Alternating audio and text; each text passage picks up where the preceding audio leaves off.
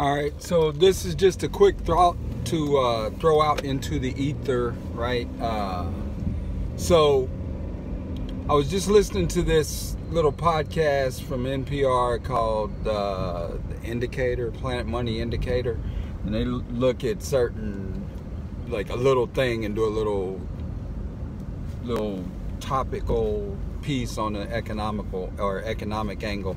But anyway, they were talking about biometric facial data, and the thing is, we're always being told how that stuff goes to uh, goes to our, you know, they're they're selling it, right?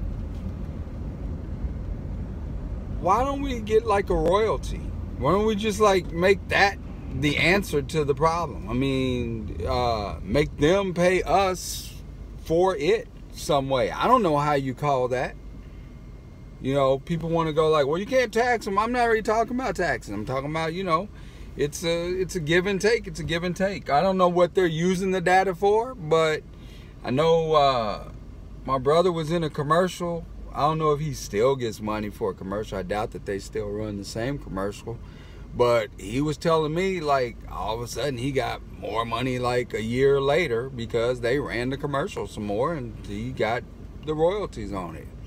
You know, um, that's why they run all these TV shows back to back hours and hours of damn Big Bang. Uh, you know, because they get royalties, and that's they're those people are gonna be getting paid forever. You watch, like Alan Alda's still cashing some checks from MASH because they play it on MeTV. You know what I mean? So if they can figure that out somehow or another way, I mean, you know, uh, far as I know, Boz Scaggs gets a little check every time they play uh, "Love, What Would You Do for Me" on the old on the oldies channel, right? So why can't I get something if they're gonna sell my data? You know, in some group. I'm assuming it, was, it's in groups, but uh, but yeah, if they're gonna do that, boom. And if you monetize it, then you got you'll get something out of it. Otherwise, uh, they're doing it any way you slice it.